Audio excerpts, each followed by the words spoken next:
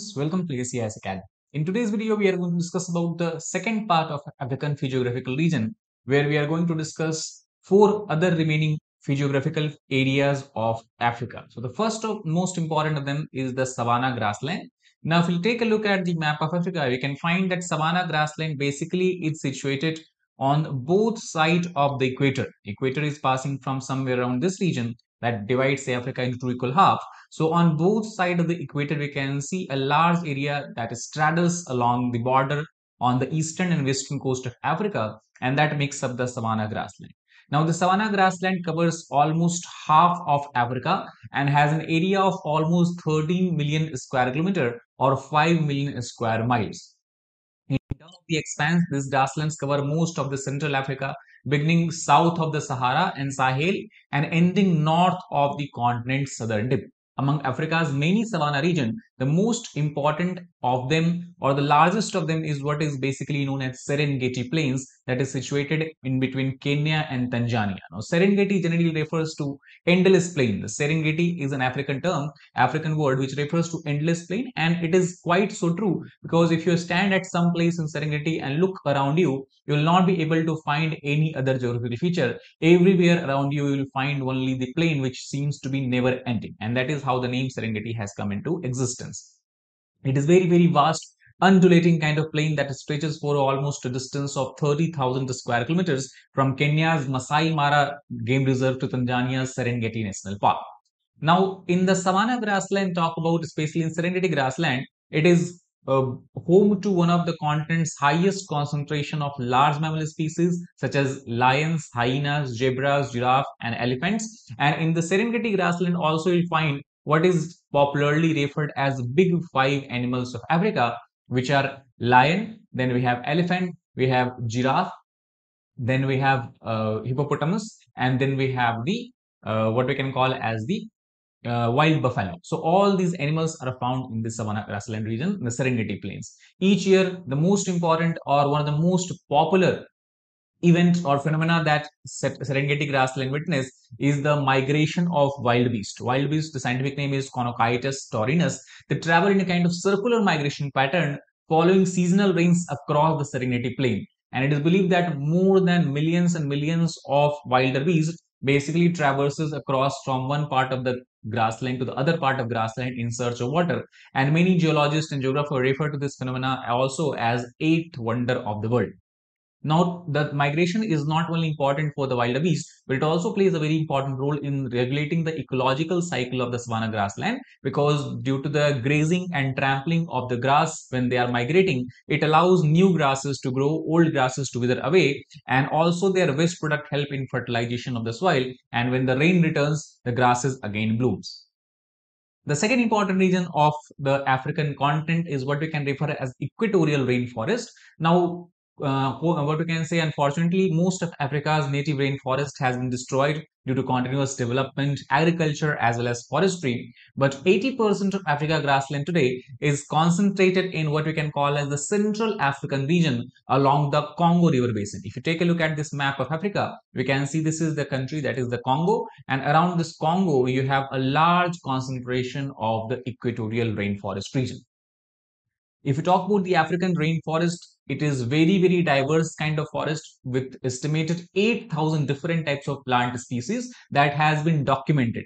Obviously, more than 1,100 of the species are endemic in nature. Endemic means they have originated or they have evolved in these equatorial rainforest of Africa and they are not found anywhere else on the earth.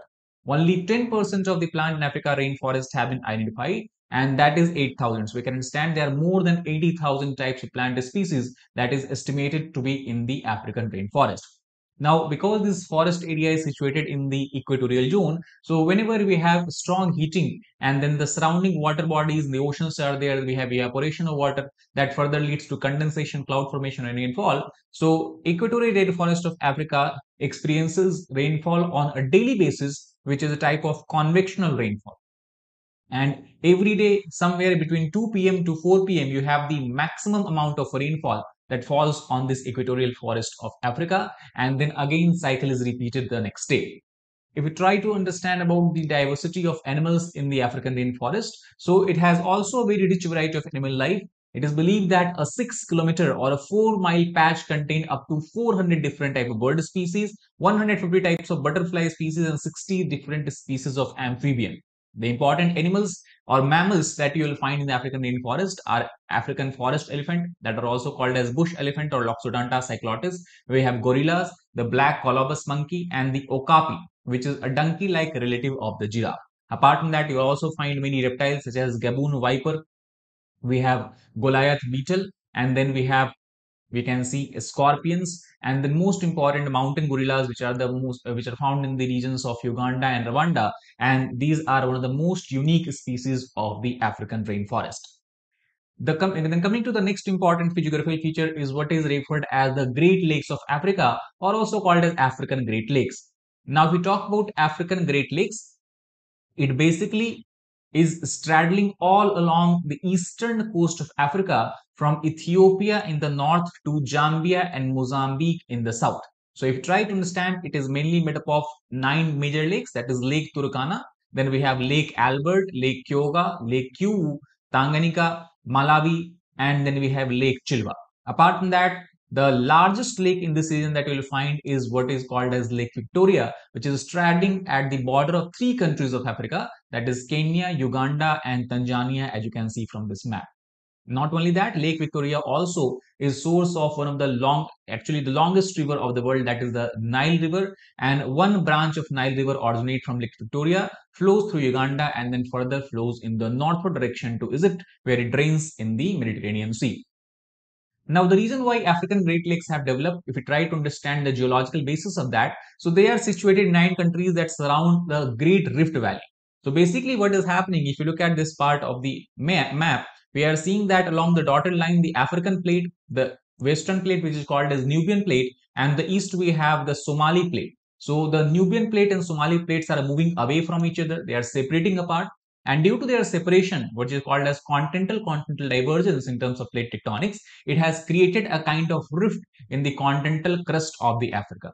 And thus, as the African continental crust is continuously moving away and also it is separating away from the Arabian plate, gradually what has happened? Here and there depressions have been filled up with water and this filled up depression is what has led to formation of what we call today as the great lakes of the african uh, african rift valley. So this geological process created some of the largest and deepest lake in the world in terms of biodiversity, also these Great Lakes have a lot to offer because they have a very diverse range of both aquatic and terrestrial animal life. Because water is something that is necessary for both kind of animal species, whether they're living in water or they're living outside of the water.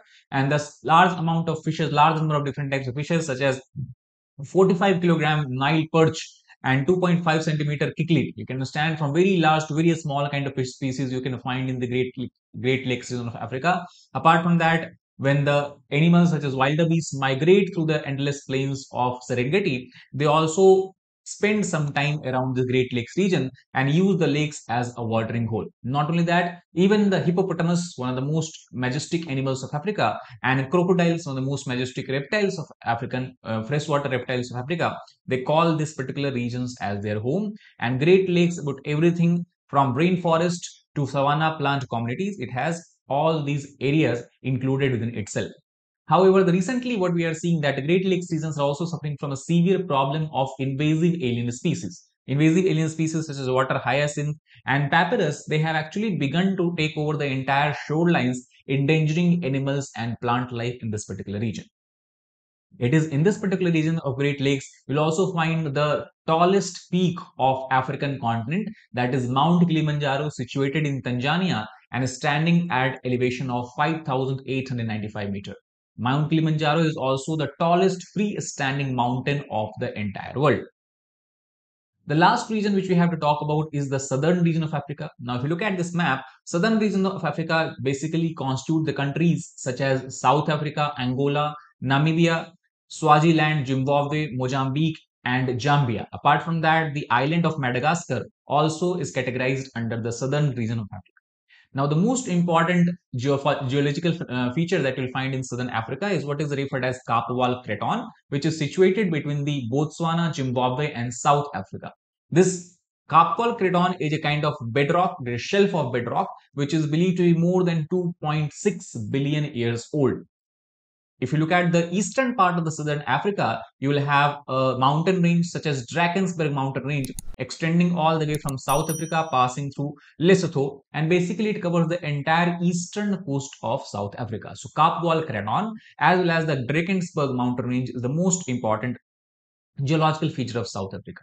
Apart from that, if you go on the western coast of southern Africa, we have many dry desert areas such as Namib Desert, Kalahari Desert in the South Africa, Namib Desert in Namibia, then we have succulent Karoo, Nama Karoo. So all these area and dry regions have developed mainly due to the flow of a cold ocean current along the western coast of Africa and this cold ocean current is called as Benguela current. So when the Benguela current flows across the western coast of Africa, it actually produces a chilling effect. It actually produces a drying and desiccating effect because the evaporation is lesser and due to which rainfall is very, very scanty nature. And these low rainfall conditions have led to development of the desert-like conditions. Not only that, if you look at the flow of the wind that is happening in this region. The wind is also kind of offshore winds and offshore winds since they're moving from the land to sea, they do not cause any kind of precipitation or rainfall. And also this area lies in the high pressure belt where we have continuous subduction or sinking of the air masses actually obstructing the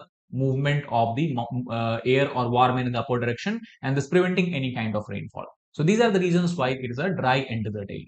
So overall, if you look at the South Africa, we have three major kind of feature. Drakensberg mountain range in the east, Kaapvaal Craton in the central and eastern region, and then we have desert and arid regions in the western coast of Africa. In terms of floral biodiversity, the southernmost part of South Africa is what is referred as Cape Floral Region or Cape Floral Kingdom. It is believed to be one of the richest areas for plants in the entire world. And while the Cape Floral regions covered less than 0.5% of Africa, it is home to nearly 20% of the continent's plant life, continent's flora. Not only that, the South Africans South African national flower that is called as King Protea, as you can see from the picture here, is also found in the Cape Floral region. As far as the animal life of Cape Floral region is concerned, it also has huge number of huge diversity of animals such as lions, elephants, baboons, white rhinos especially, and Burchell's zebra. Apart from that, other animal species such as impala, which is a type of deer, and a springbok, which is a type of gazelle, is also found in this particular region. And these animals can spring several feet into the air to avoid the predators. The list of the animals that you can find in South Africa, the Cape region of South Africa is obviously given here. So that is all about this particular video. I hope you understood about the floral diversity, faunal diversity, and overall geological features of the major physiographical regions of Africa. That is all for this video. If you like the video, please hit the like button, share it with your friends, as well as subscribe to our channel for more such content. Thank you very much.